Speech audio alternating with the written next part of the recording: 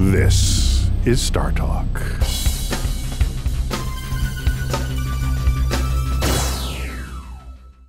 This is Star Talk, and I'm your host, Neil deGrasse Tyson, your personal astrophysicist. I work at the American Museum of Natural History in New York City, where I serve as director of the Hayden Planetarium. And today I have with me my co host, Chuck. Nice. That's right. Hey, Neil. Chuck, Good to be here. Man. always good to have you. It's always my pleasure. And you're wearing your, your, your official NASA uniform? Yes, without a doubt. Uh, you know, I figured uh, this was appropriate attire for what we are doing. You know that, and it's the only clean. That's thank you. That's right. Making that clear.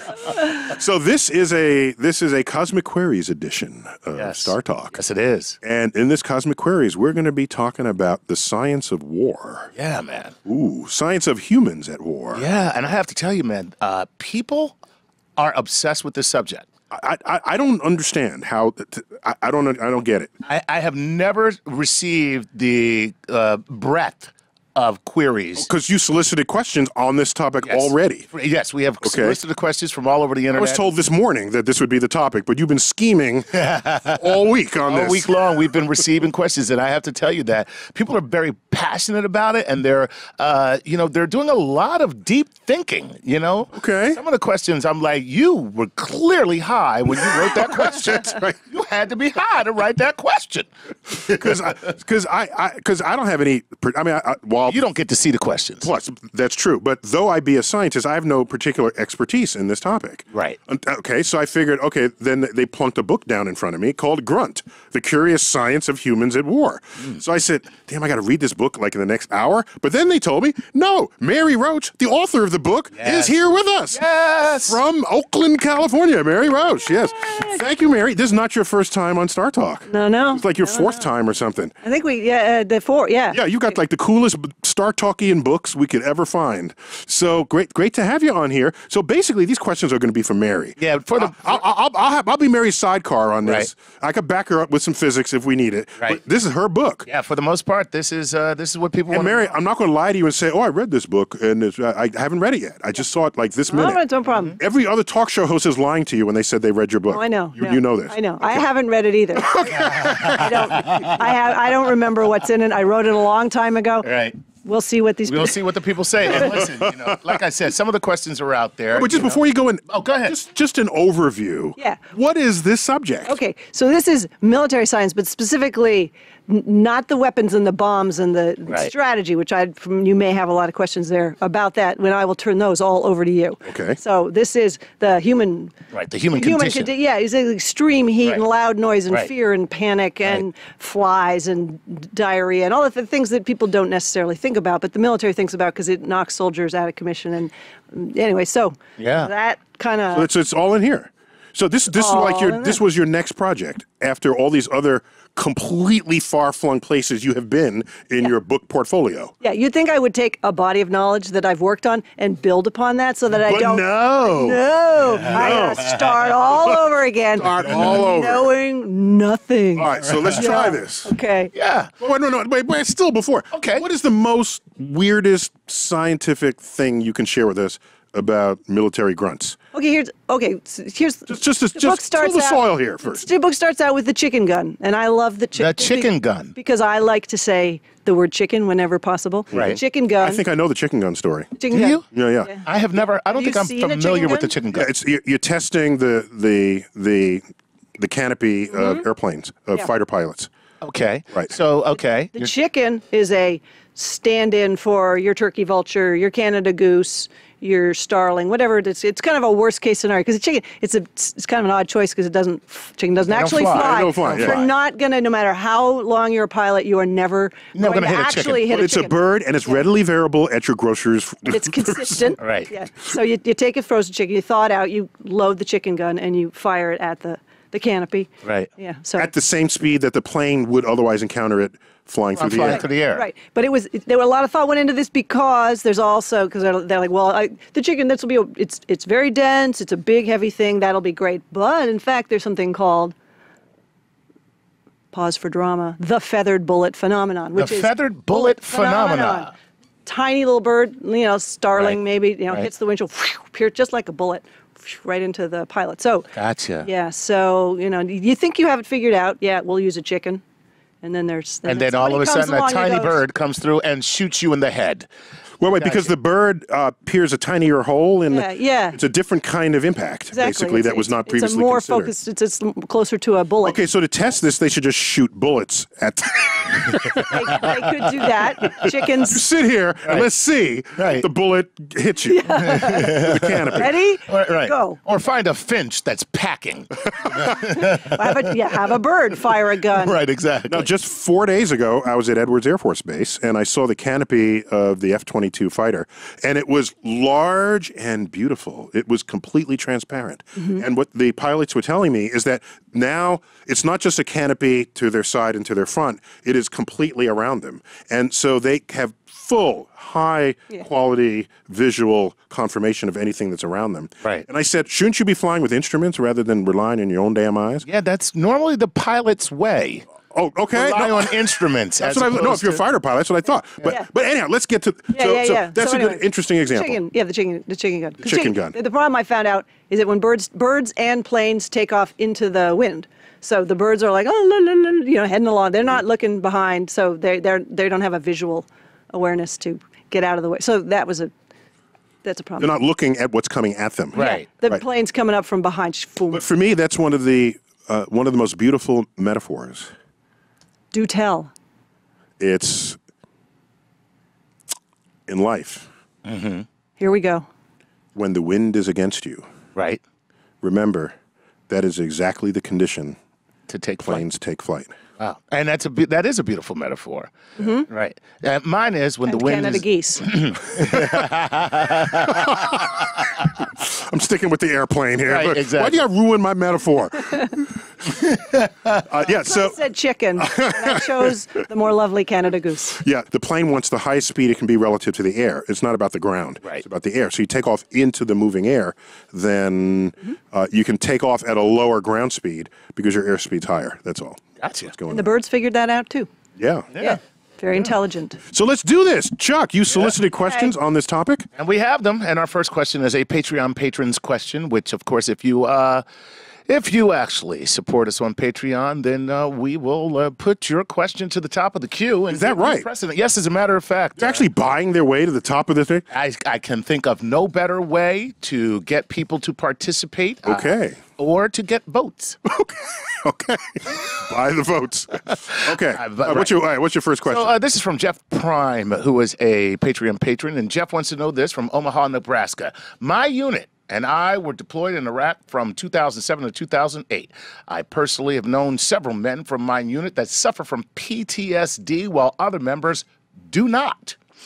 With all other variables being equal, is there a biological reason why some soldiers handle war differently in a mental capacity that helps explains why some soldiers suffer PTSD while others do not? good one. Mary, what That's do you a have? very good Good question.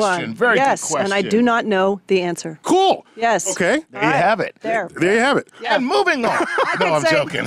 I can reflect on this fact. There's fact. probably uh, there's probably a reason. Yeah, I, I, w- I would think that if we knew that uh, definitively, then we would be able to delineate why that is, and then look for a cure to PTSD. No, what you- or, or or- keep those Or people keep those people out of right, which combat. is what one of the things in the book was uh, they were looking at heat injuries, and there's a huge individual variation in who can acclimate to extreme heat, like Mm-hmm. who can feel like start sweating heavy and sooner, and there's like, like I can deal with this, and other people can't, and they get Right. heat stroke and they sometimes die. I'm pretty good in a wide range of temperatures.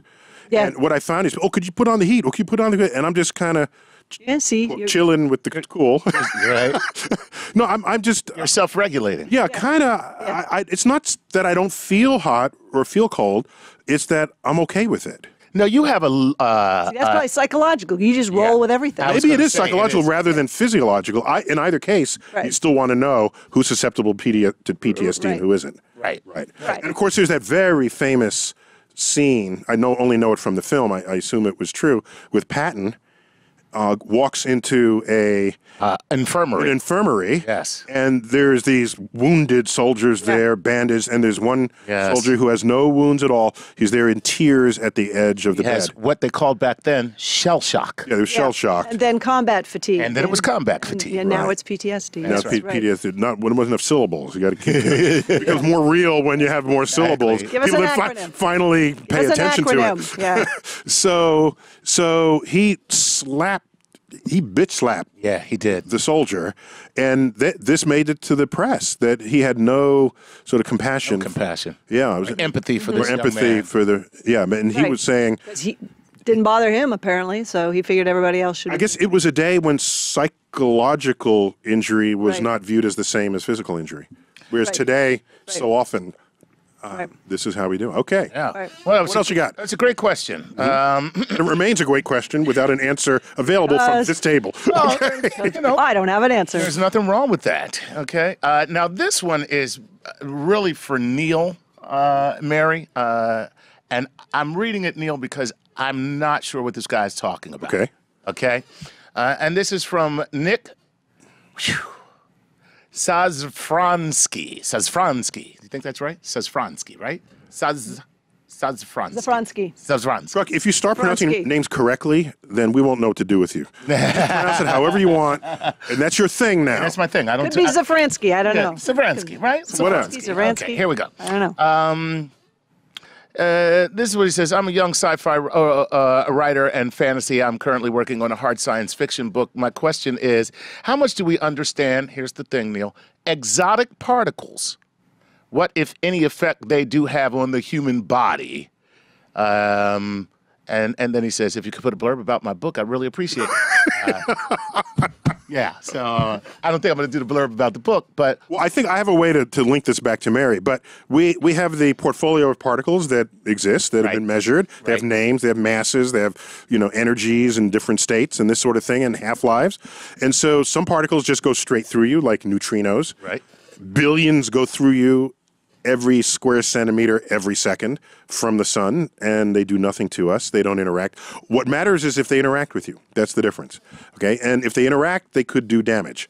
And so, so this is a so if you want to weaponize a particle, you would make some kind of device that you know contains particles that will interact with your body in some way, mess with your DNA, mess with your skin, mess with whatever, and then that becomes a weaponized ray gun, basically. So you make the particles a delivery system for some type of debilitation. Correct, correct. Now we do this for for electromagnetic energy. So there's a uh, there's a movable microwave device, which is an it's a non-lethal anti-personnel weapon. Right. It's non-lethal. So if there's a crowd of people, you drive up this truck, you aim this antenna at the people, and it's like you just put them all in a microwave oven. Now, do you first get them to hold a burrito? so they can eat it on the way. So And you got to take the wrapper off. exactly. So so what happens is their skin starts feeling hot and they and they want to go out of the beam. So they scatter. They scatter. They scatter. So Right. this is how you can decentralize what might be a mob that that's that's coming. Um, is there any discussion in the military about um, weapons, the effect of weapons on people that are not just guns, your traditional? Well, there was uh, not in this book, but one of my previous books. There was uh, infrasound. I don't know which book this was even about. They were there was this. She's got so many books. You don't I remember don't which even book remember. that was in that she wrote. That's pretty cool. Uh, yeah, that's that's badass actually. Yeah, That's, yeah. that's pretty badass. It's That's- like- in some book that I wrote somewhere, I believe I in there said. somewhere. so what you can all you can all do is like buy them all, Buy them all, lay them out. She can point to it. and you let there me you you, go. let me know. That's it. You buy them all. Exactly. Right. So yeah, inf- but infrasound. There was this talk about that they that the military was looking for a non-lethal weapon. I think it was. Supposedly it would. Uh, infra- oh, no, it's, yeah, it was, infrasound, and it was, it like long, slow. Wave Low frequency low waves. frequency, and that it would you- it would res- have the same resonant frequency as some of the internal organs. So you it would create fear, nausea, uh, terror. Uh, but yeah, it never. This is like in, in, in Jurassic never Park. went anywhere. When T Rex Yeah. Like the, the, the liquid in the- the. Yes. Right, and you see the uh, the vibration in the liquid in the glass. Right, right, right. That type of deal. Yeah, like they were sort of like they would launch a ball of infrasound. But anyway, I could never find it. That'd be a knob. There'd be T Rex would be one of the settings. Right. yeah, yeah. By the way, the military doesn't have to look for that. We already have it. It's called One Direction. Yeah. They're a boy band. Well, there was some concern about uh, uh, NASA had concerns about because the, the engines were putting in a launch, they would be putting out tremendous amounts of infrasound, and they were afraid they were going to deliver jelly to the moon. That it would even it was so that intent. But I think as it turned out, it wasn't. But in fact, was- they it do have what they call a sound abatement system, and before every launch, in the seconds before they ignite the engine, you see this basically a swimming pool's worth of water dumped onto Whoa. the launch pad. And the water absorbs the acoustic reverberations. That's right. They're worried that the acoustic reverberations would just completely tear apart Yeah. the entire bottom half of the rocket. Right, like the the, the, the singer with the glass breaking Yeah, exactly. Yes. Except now, so what they do is they put in the water that absorbs the energy, and that way the energy doesn't hit the rocket again. So next time, watch very closely every single launch, and they're big tanks Yeah. surrounding launch pads. They're water tanks. Bada bing! And then the vibrations hit. It vaporizes the water. So some of the smoke you see coming out is is steam, basically. That's cool. Vaporized by the energy, the acoustic energy of vibration. That's amazing. Give me one more question. By the way, uh, that is the exact um, sound that it makes when the water is dumped. Bada bing. Bada bing. Awesome. It's awesome. Bada bing. Three words. Give it to us, Chuck. Okay, here's a here's a quick one since we are, don't have a lot of time. Uh, Tech advancement through wars from Maddie Stark uh, on Facebook says this: How do you feel about the idea that war is necessary for technological advancement? Ooh, let me let me let me cast that in a grunt question, okay? Okay. So, how much have we? How much has war advanced medicine? a lot in terms of um, combat trauma. I mean, did, did stuff like, all right, you get somebody whose artery is cut and they've got about two minutes. So, you know, get it in terms of minutes getting before they're dead. Before they bleed out and they're dead, and like two minutes to uh, stabilize, get stop the bleeding, stabilize them, and get them somewhere. They've gotten really good at that. So, emergency care, um, it- that's been huge. And of course, the whole concept of triage, Triage is based is a war-based, yeah. War-based exactly. thing. And also things you wouldn't necessarily think about. Uh, there was a uh, Navy guy, Ca- Captain Phillips, not that other Captain Phillips, Gotcha. but who came uh, came up with this. Um, Discovery that if you, you know, if someone's got extreme diarrhea like cholera, where you're like losing five gallons of liquid, he even he invented this thing, the cholera cot. It's a cot with a hole in a bucket. You're just, you're, and it, you're you're you're going to die quickly because you're just um, Right. Just leaking. right. You're leaking. But so, what has he invented? The so bucket? invented- What? What? That's not an Invented, like, invention. well, the cholera cot was one invention, but not the important one. The important one was if you add glucose to the rehydration fluids, it, it enhances absorption of the fluids and the salt. So now you can drink them rather than hook up an IV. So in a third world country where somebody, Right. uh, they don't have to make their way to a clinic and get hooked up to an IV, they can actually drink this stuff and it's saved, you know, millions of lives. Because it's still like two, you know, two some million people die. So here's here's a morbid question. You ready? I'm ready. I'm always ready. Have more people, have more lives been saved by the medical advances from war than lives that have been lost from the waging of war itself? Wow. Interesting. Well, they, you know, okay, well, here's a figure for you. This war is good for you people. I know. We have to kill you in Yeah. order to save you. Let's go. To, let's go to commercial, and we'll we'll cogitate on that question when we come back. Star Talk continues with our Cosmic Queries edition with Mary Roach, author of Grunt: The Curious Science of Humans at War. We're back. Star Talk. Neil deGrasse Tyson here, your host and your personal astrophysicist. We're doing Cosmic Queries. Love Cosmic Queries. Chuck, you're helping me out here. Absolutely. Yeah, and you solicited questions from the from our our internet base, Yes, we have. and you they they knew in advance before I knew even what these well, questions. you never get to see the. I don't get. I don't even know what. Even though we're not trying to stump you, that's not the. the That's not the point. It's I not get the it. point here. Is not to give you a question that you cannot answer, but it's to. Uh, I think that might be the point.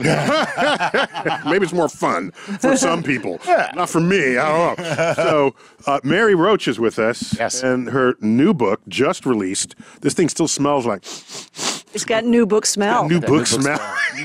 You can buy that and spray it on get your it, old get it for a few weeks, and then it's old book smell. uh, the curious science of humans at war, and and I left you with a question Yes. just before the end. Yeah.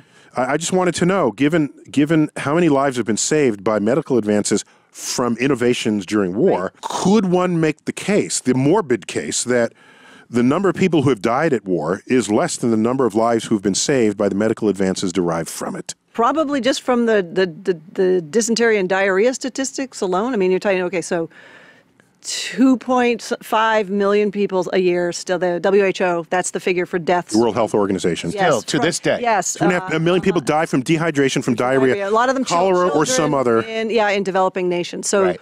That's a huge Two and a half million a year. half million. Yeah, from uh, from yeah, exactly. Okay, so uh, 50 million people died in the Second World War. It was the last number I checked. So 25 years of that. That's just the diarrhea Right. alone. Right. Plus But, you've but they are dying. We didn't stop them from dying. So I want to know if lives have been saved.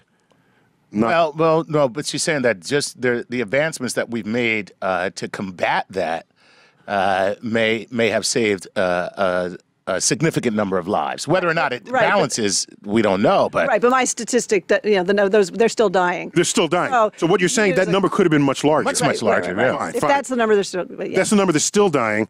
It would have been huger, right, right. hu- huge, Huge. huge. It would have been huge. huge, right, right, right.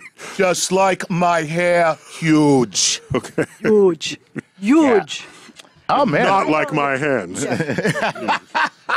But then, you know what? Some I, I recently saw a statistic on the uh, uh, the number of deaths from car crashes versus the nu- like every year that there's been a military conflict, the number of deaths just from car crashes dwarfs the number from killed in whatever the war that's going on. Okay, not not the Second World War, but surely since No, then. no, Right. si- no. Since then, Yeah, we lose we lose 100, 100 Is that- people a day. now, are they that's only not- are they not- only accounting American deaths, or are they counting the number of people? Because we tend to kill a lot more people. yeah, than, exactly. Yeah, that's true. That's true. But I can tell you, it's 100 people a day on the roads. And at the peak of the Vietnam War, we were losing 100 servicemen a week. So it's basically a factor of seven higher Wow. in cars than in military, not not the First World War. I mean, not the Second World War. But here's something I tweeted recently: that Second World War, you do the, you run the math. Uh, we were losing 1,000 humans per hour. Wow. 1,000 per hour died at the hands of another human being during the six years of the Second World War. Wow. That's insane. Yeah, it's insane. However, the Mexican American War, seven to one ratio uh, disease to combat injury. L- dysentery, diarrhea, malaria, seven to, to one. Of course, so you think Mexico and diarrhea, they're always going to be linked. Wow. Why, uh, yeah, I know. so Poor true. Mexico, even back then. Even back then. Don't but- drink the water. Back it, then. uh, yeah. So, yeah, there was that quote, William Osler dysentery has been more fatal to soldiers than powder or shot. Ooh. Wow. That's even as good as your chicken metaphor that you let loose earlier. That was not. I, all right, Chuck, what else you got? here we go. Let's move on. uh, this seems to be a big uh, theme that people want to know about, and uh, this is this is from uh, Aaron Heron Filth. Okay, that's the name. That's how you're pronouncing the name, but go on. No, no, no. F I L T. Let me have fun with how you can't pronounce stuff. Okay. All right, go on. Uh, maybe he just wrote it. Maybe that way wrote it with wrote it that way to make to mess with me. All right. Uh, here we go. Uh, Hi Neil, really love the show. Keep it up. My question is: In recent films such as Civil War, we're talking about Marvel Comics Civil War. Mm-hmm. We see genetically advanced soldiers like Bucky, who is a character, uh, Captain America's friend. Uh, I'm sorry, I'm translating as he asked the question. And uh, the Winter Soldiers, uh, uh, also part of the uh, uh, genetically modified soldiers, uh, could super soldiers eventually become a reality? If so, what are the biological implications of doing such a thing? Greetings from Mexico City. Whoa! Yes. This is a show for you. Yeah. Wait, so Mary, Go to Mexico City. It's supposed to be great. uh, so Mary, are there studies of uh, have there been attempts to modify the human physiology in war? I saw this amazing paper, uh, uh, DARPA. You know, DARPA. DARPA is the way outside the box. Defense Advanced Research Project Yes, Agency. yes. It was a paper. Uh, it was speculation. It was not projects that are underway, but they were listing like. Fact, one of the whole we- points of DARPA is to have highly speculative research Yeah. that could break open a whole new field of, of military might. So Okay. this was in particular modifications to the human body. What could we do? And inspiration from the animal kingdom. So they were look, they were looking at uh, unis, unihemispheric sleep, which you have in marine mammals and in some geese and ducks. And Right. where what Sleep with one eye open. One eye open. Yeah, Right. exactly. So they funded some research, so some basic research into you know marine biologists and Mm-hmm. uh, bird people. Ornithologists would be the, I guess the word. The word yeah, like Call them bird people. Yeah, okay. Look in, look into Bug this. people. I call them bug people. Yeah. yeah, the butt people have probably been doing some work too. Uh-huh. But uh, you know, fun. Just looking into like how does this work, and Mm-hmm. could we foster this and somehow make our soldiers able to sleep? Yeah, because sleep deprivation is huge, Yeah, and it very much. affects your performance, your military performance. So if there were a way to sleep with one half of the brain and keep the other eye open and make sure nobody's sneaking up, Then you swap brain halves. Then, Right. yeah. Presumably both halves need. Like sharks. Yeah. Right. Yeah, yeah. All right. So, so was that there was an it was an amazing list. There were things like you know the human llamas, or or could- you know, could you oh, you know somehow have more hemoglobin for, for mountain warfare? Could you make somebody able to you know kind of Sherpa-ize them quickly to be able to breathe, you know to, to function better at high altitudes? I do remember um, surgically installed gills was on the list. Mm. Whoa. Okay. Now, see, Yeah. that's It'd be like Waterworld right there. wouldn't Yeah, it? exactly. Exactly. What a Does Kevin right. Costner know about this? That's right. We're gonna work on. That We're gonna creepy try him when out he- first. When, you- when he came around his neck and you saw the gills Yeah. in the movie. Yeah. Uh, So, so uh, here's my take on that. Not that anybody asked, but I'll tell you my take. In the early days of space exploration, there was all this talk about modifying the human physiology to accommodate the stress and strain on our body in space.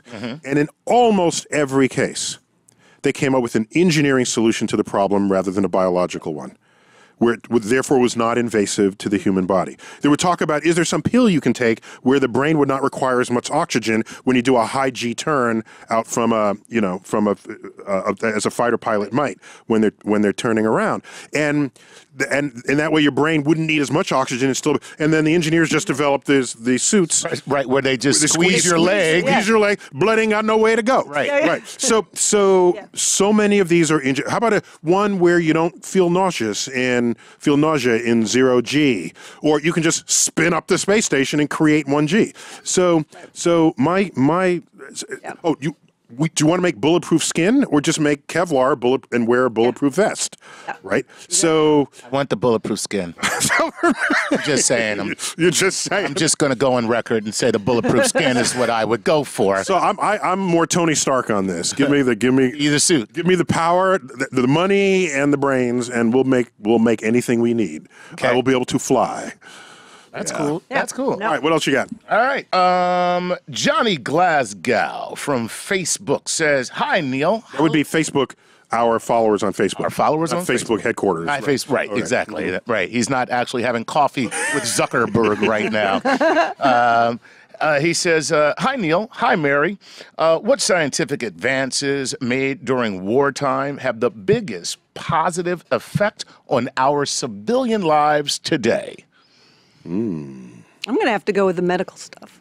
The medical stuff. Yeah.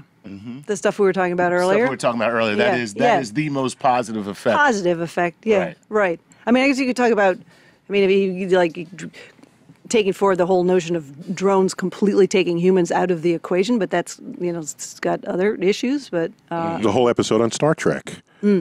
That was indeed where Yeah. they fought the war through Completely- mathematical calculations. Right.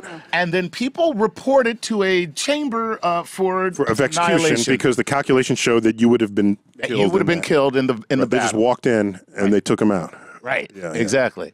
And that which is that Captain Kirk said, "No, you can't do that way. right. That is not war. war is ugly and bloody." Spock said, actually, though statistically, I can see the merit to this particular approach. yeah, that that well that's cool. Yeah, that's so definitely the the medical advancements is That's what comes to mind in terms of a positive. Yeah, positive. Okay, I would say Uh, now, are there any I say- technological I would say one thing. Go ahead. The V 2 rocket was the very first intercontinental ballistic missile, which became the foundation of oh. our entire space arsenal. Yeah. So ah. everything that we know and love about space, including where you get your your your your weather maps from from the Weather Channel, you get people saying, "I don't want to go. To, I don't. What do I need space for? I have my GPS and the Weather Channel. That's all I need." Right. That's like get your get your government hands off my Medicare. That's what that statement That's is. It's the exactly what that is. So I would yeah, say yeah, but no, no, Na- yeah, NASA. I mean, anything that's miniaturized, fire. Oh yeah, the entire miniaturized. lightweight. Well, that was that was NASA, That's not war. NASA. I know. That was, no, But I, there's, there's probably a. I, yeah, I, I, there's probably. war didn't have to miniaturize the way NASA did. No, no, 'cause no, You have to true. launch it for you know. Well, then Every again, ounce cost you money. Here's a war thing, Right, though. right. The first. By the way, it's ten thousand dollars a pound to orbit. Oh, wow. So if you got a little extra gut, Yeah, we, I ain't flying that in Right. space. You go, you go. get back on the treadmill. So how about this? Um, I believe the first computers were used to uh, Yes. calculate the Ballistics. trajectory of uh, mortar shells. That is that is. Is that true. correct? That is true. Okay. Yes. Yep. So- Yep. And now we have computers. Right. I mean, we know what they do now. yeah, yeah. So in fact, the military led the development of supercomputing. Yes. That's right. Right. Nowadays, it's commercially driven because the demand is there. But in the in the day, yeah. Back in the day. Right. There you go. All right. All right. All right. Well, not bad. Not bad at all. Mm-hmm. Okay. What else you got? Here we go. Okay, here we go. Uh, well, you know what? This is kind of the same question, so I'm going to skip that. I'm sorry. Um, do vets of armed combat face a disproport? I'm sorry, Christian. Your last name, I, I, I tried to get away without this, but I'm going to try it. Here we go. This is from Christian Prisblick. Prisblick. Okay, here you go, Mary. Take a look. Now at they're just messing with you, Chuck. look at They're that. just messing with I you. know Christian, right? Where are the Joe Smiths out there? Prisblick. Next time, can a Joe Smith Prisblick. please ask Chuck a question? I know. Where's Joe Smith when I need him? Okay, Christian Pris- Prisblick from Twitter uh, says this. Uh, do vets of armed combat face a disproportionate number of chronic health issues, and does race play a role, or or as well as class? So, class and race do they play a role in, in the uh, chronic health issues that vets face? And do vets face more chronic health issues than anyone else by virtue of being a vet? I would. Yeah. Yeah. Yeah. There's a tremendous amount. I mean, just like just starting with hearing the number one VA expense, hearing loss. Really? Come away with yeah. I mean, it's, it's not just it is not just rifle. Uh, bombs going off and rifle fire. It's steady state noise. Like you're in a, a Black Hawk helicopter, Right. which is like 106 decibels, and you're in for right, yeah. And so they, and then they have hearing protection. Chuck's Thanks. imitating a helicopter. Does he like that? Yeah. I like that. Yeah, yeah. Can you do a uh, uh, an M16? Uh, uh, well, M16 is a little bit more staccato, so it's An M16, the rifle. Sounds Yeah. like a duck. yeah, I do. I do. I'm No, not then- good- but then there's the Huey from Vietnam. No, yeah. it's like a, it was Yeah, a that's- it was a it had a pulse it was a pulsing pulsing sound. So you're saying the Yeah. consistent the Oh, right, because persistently being persistently bathed in high decibel sound, even beyond bad, just whether yeah. you were near an explosion. Right, and and the other problem is that when the uh, when the noise. See, when things go kinetic, when there's fire, you know, when there's like, you, there's no warning. You don't have time to go, oh, you roll down my foam earplug and pull my outer ear back and put Right. that, you know, you, there's just not time. And they're not going to wear that stuff all the time because you lose your situational awareness. You can't hear somebody shouting, get down, there's somebody over there. So they. Uh, They've tried to do that in some movies. well, they have, yeah. They have they, special operations. This is really cool. You bionic hearing. It's so cool. It's a headset, and it uh, attenuates the loud noises. So it changes and- the, the right. The so the loud stuff gets quieter, and the quiet stuff is stuff gets louder. amplified. So Right. you're like the bionic. I was. It's like did so you could hear across the room. You could hear a conversation. Dee-dee-dee-dee. Yeah, that was no, that was the eye. What you're doing? Oh, was that the eye? That was Oh, the eye. That was the ear. That was the ear. Okay, I think Yeah. you're right. Yeah. You know, Amy Summers had Amy the ear. Summers. She had the and ear. now she's selling mattresses. I know. Late night TV. Can you hear me now? Uh, so okay, so that's interesting. So these so so anyway, yeah, but that's just that's the biggest one. But then, um, yeah, uh, you, you got a like traumatic brain injury, and you got and, Yes. and orth- orthopedic stuff. I mean, if you're in a vehicle that is designed to withstand an IED going off, I mean, you'll survive. You, you survive, but you, you, you, like the, the bottom of it would come up and slam into the Right. foot and the pelvis and the spine. Speaking of that- kinds of, of just wear and tear on your body, even if you're not blown up. So speaking of that, and this question is from But so these uh, are veterans that have been in combat, Right. Yes. Not just Yes. veterans generic veteran. Right, right. Because many, most veterans have not been in combat. right. So Oh, so do they have more? Well, I I, I don't know. Well, yeah, I mean, you know, we but presume it's combat veterans. Well, just yeah, we would have to clarify. as- assume because I mean, I mean, uh, I'm going to say carpal tunnel doesn't count. I've been sitting at this desk filling out these reports for weeks.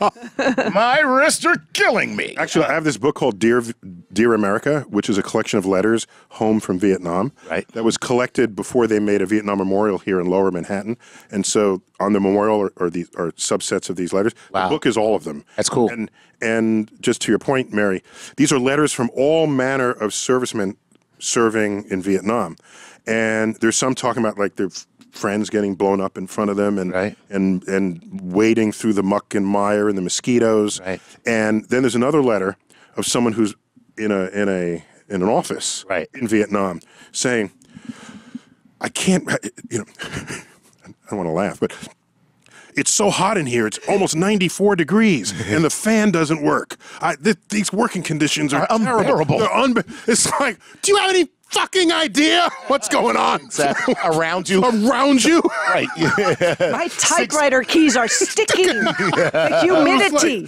So I think it's your, your biggest problem is your biggest problem. That's Right. really what that is. Yeah. Whatever your biggest problem is, that's your biggest problem. Wow, that's cool. Um, Chuck, how many? We got two and a half minutes. How many questions can you squeeze into this? all right, you know what? Try it. Here's, Go. Here's the deal. I'm gonna we're gonna go philosophical. Les Ollenhauser Ollenhauser says, um, "Do you think there can be, or ever has been, something that can unite humans so effectively as war?" What a profound question. Mars mission. Ooh, look at you with the Mars mission. Landing a human Mars mission. I think everybody's going to tune into that, right? Mm. Don't you think? I don't know. Well, so I, so I let me agree and add to that. So I've thought a lot about things that unite humanity. Okay. So one of them is war, which is the largest organized unification of humans that we experience. Nothing mobilizes us like a good war. Exactly. And what odd thing is that it mobilizes us against one another, but Right. it's nonetheless mobil- mobilizing. Another one is the Olympics, True. and another is the World Cup. Which, by the way, is a metaphor for war. Yes, it is actually, and so too is the World Cup. Exactly. except you don't end up dead at the end of it. Right. So the World Cup, the Olympics, and the International Space Station. When you look at the cost of the International Space Station, and the number of countries involved, it is the greatest collaboration of nations outside of the waging of war. Hmm. Really? You look at just the total investment that has gone in it, basically three billion a year plus. So yeah, yes. So I agree. Landing on Mars could do that if it's done as a as a, As a global- national yeah, I mean, exactly. consortium. Is this done? Which it's it, a- it would be, wouldn't it? I mean, don't you think? It can be, but I don't have enough confidence Yeah. in the human species to think Yeah. that we wouldn't do it out of competitive urges like rather than moon, cooperative yeah. urges. So you're saying that mm-hmm. if we make it a reality show competition between countries, we're more apt to go to Mars than if we were just to wait for us to finally My come together. My feeling is that your urge to be innovative is greater stimulated when you're in competition than when you're in cooperation. That's my feeling here. Okay. Mm-hmm. as capitalism at its best reveals. Where Right, you right. want to, you want, I want your money. I don't want you to give your money to the other person. So now that competition drives me to be better than there the it other is. guy. There it is. Gotcha. There it is. I think we're out of time. Oh my gosh. Oh my gosh. Oh, well, let me just so so so, so Mary. Yeah. Let me let me let me break ranks here and pull away from Chuck's questions. Okay. Is there one other thing you want us to know about your book before we before we end end Star Talk today? Oh, uh, gee, it's it's a it's a it's a it's a dark topic, but it's an interesting, quirky, fun read. I don't want people to get. It. I mean, it, it's a, you mean war is serious, but they're the people people in the military have a good sense of humor, and it's You have to, I think. you yeah. have yeah. to. Anytime there's death involved and life and death and all that, so it's so it's um it's fun. It's a fun. And you, you interviewed you interviewed servicemen. I was I was on a nuclear sub. I was in uh, Camp They Lemonnier. let you in? It took me a year and a half to get on. Yeah, I know. I know. Yeah. Yeah, they did. Yeah. That's pretty cool, It was actually. cool. Yeah, it was cool. So, so I was all over the place, and uh, it's it's just it's it's an interesting. It's a foreign culture, and uh, like any foreign culture, it's just a really interesting place uh, uh, to go and to learn about. So, Cool. Mary, thanks again for being on Thanks. Star Talk. Thank you. So, and and so we'll just I want to be on your on your tour list every single time. Oh, you bet. Okay. Oh yeah, you'll I never want to get I want to be like the only show that had every one of their damn books. right here, we get them You're all. six for six. So Well, we got to close out this part of the show. Uh, when Star Talk returns, Chuck Nice and Bill Nye take over the studio for a segment of maker themed cosmic queries. Yes, Brought to you by Google. that's right. Maker theme. That's a whole new thing people are getting into. Yeah, you know, and it's kind of cool because uh, they're encouraging people to be makers. Yeah. You know, to uh, innovators, uh, inventors, uh, you know. I think we had lost some of that over the last couple of decades. Yes. And it's nice to bring it back. And now it's technologically, it's uh, IT based for a lot of it. Absolutely. Yeah. Yeah. All right, Chuck, I'll look forward to that segment. Uh, I'm out of here. We'll see you guys uh, next time on Star Talk. This is Star Talk.